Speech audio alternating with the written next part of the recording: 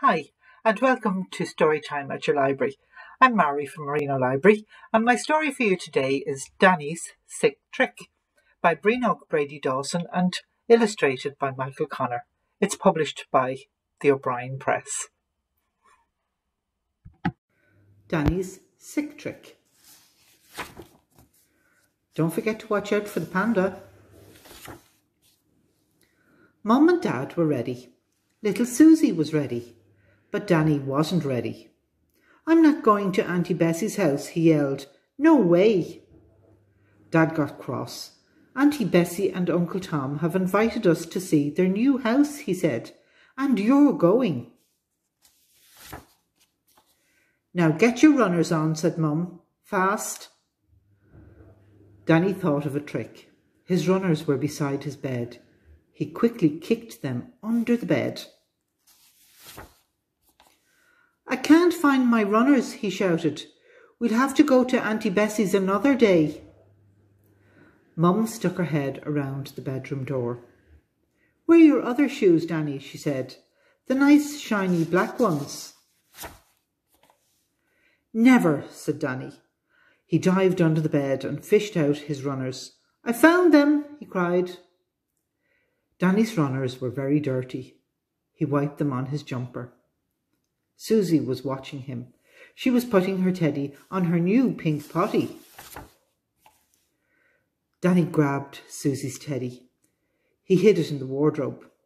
Susie began to scream. Wah! What's wrong now? yelled Dad. Susie can't find her teddy, said Danny. Susie cried and cried. Mum says we can never go anywhere, anywhere without that teddy, said Danny. Wah! cried Susie, louder than ever. You and Mum can go to Auntie Bessie's, said Danny. I'll mind Susie. Dad looked under Danny's bed. He looked in Danny's school bag. He then he looked in the wardrobe. He found Susie's teddy. No more tricks, Danny, he said. Now hurry up, or we'll be late for dinner. Dinner, cried Danny. He almost fell into the pink potty. Not dinner. We're not going to Auntie Bessie's for our dinner. Oh no. Auntie Bessie was a terrible cook. The smells in her kitchen were awful. She liked to cook pig's feet and cabbage. I'm not hungry, said Danny. You go, I'll mind the house. Mum and Dad were not listening. They were talking about how to get to Auntie Bessie's new house. I've drawn a map, said Mum. It's in the car. Danny, said Dad, you take Susie to the car while we lock up. Danny sat in the car with Susie. He was feeling very cross. Mum and Dad were locking up the house. The map was lying on Mum's seat. If we didn't have that stupid map, thought Danny, we'd never find Auntie Bessie's new house. Then Danny had a wonderful idea. He grabbed the map. He tore it into bits. He tore the bits into smaller bits. Susie laughed. Just then, Danny saw Mum and Dad coming he began to pick up the bits of the map. If Mum and Dad see these, he said, I'm in big trouble. Danny looked around for somewhere to hide the bits. Sometimes he put his rubbish down the back of his seat. Mum and Dad never looked in there. They were getting nearer. Danny picked up some of the bits. He pushed them down the back of his seat. Mum was at the car door and Danny still had some of the map in his hand. Mum opened the car door. Quick as a flash, Danny stuffed the rest of the map into his mouth. Mum searched for the map. She looked on her seat. She looked in her bag. She couldn't find it. We'll have to ring Auntie Bessie again, said Mum. Mum and Dad went back into the house. Danny spat out the map. Susie started spitting too. It's not funny, said Danny. My trick is not working. Danny thought of dinner. I can nearly smell that cabbage, he groaned, and it smells sick, sick, sick, sick. Then Danny had another great idea. He put his hand down the back of the seat. He could feel stale crisps. He could feel an old apple core. He could feel Susie's broken biscuits. I could eat all this rubbish, Susie, said Danny. That would make me really sick. Then I couldn't go to Auntie Bessie's house. Danny smiled to himself and reached down.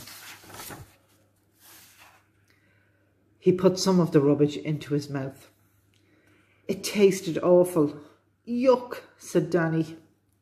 Yuck, yuck, said Susie. Mum and Dad jumped back into the car. They were in a hurry now. Danny hated the taste of the rubbish. Mum, he mumbled, I'm going to be sick. Mum took Danny back into the house. Blah, went Danny. He spat all the rubbish down the toilet. Mum wiped his mouth. You need to have something in case you get sick in the car, she said. She looked around the bathroom.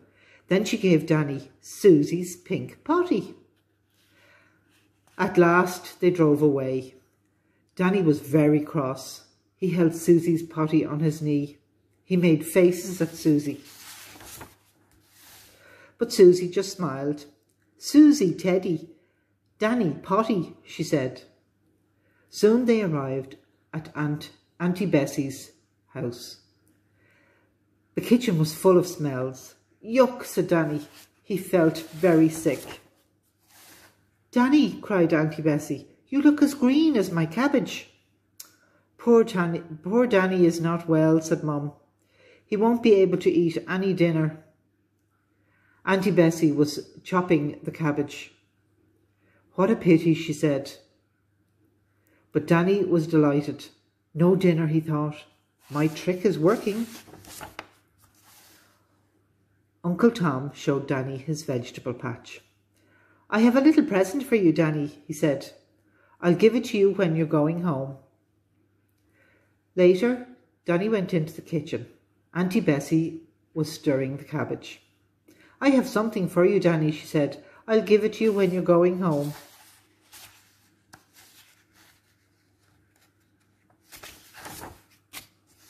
Danny was having a great time. While everyone was eating, he watched television. What a great sick trick, he giggled. Time for chocolate cake, said Auntie Bessie. Yippee, yelled Danny. I love chocolate cake. Auntie Bessie's chocolate cake was huge. The top was covered in chocolate icing, and there were there was more chocolate icing in the middle. Danny's mouth was watering. Auntie Bessie cut a huge slice for Mum. She cut a huge slice for Dad. She cut a huge slice for Uncle Tom. She even cut a huge slice for Susie. What about me? said Danny. Dad slowly licked his lips. Sick boys can't eat chocolate cake, he said. Danny was shocked. But he smiled sweetie, sweetly at Auntie Bessie. She'll keep a slice for me, he thought. I know she will. Soon it was time to go home. Auntie Bessie gave Danny a plate covered in tin foil. Take this, dear, she said. You might feel like it later on. Danny hugged her tightly. Thanks, he said. You're the best. Then Uncle Tom gave Danny a big bag. He winked. It's for tomorrow, he said. More chocolate cake, cried Danny. Yum, yum, yum. Danny peeped into the bag. He saw a caterpillar crawling on a green leaf. Cabbage, he yelled. Then Danny lifted the tinfoil on the plate. Dinner, he screamed. There was no chocolate cake. Danny was very cross. Here comes Susie, said Mum. She's got something for you too, Danny. Danny Potty, said Susie. She threw her potty at Danny. Danny walked slowly to the car. He was carrying the dinner plate, the bag of cabbage, and Susie's pink potty. That was a stupid, sick trick, Danny said. I'll never do anything like it again. Never, never, never. But I think he will, don't you? Danny's just that kind of kid. That was a great story. Danny's always up to tricks, isn't he? See you next time. Bye for now.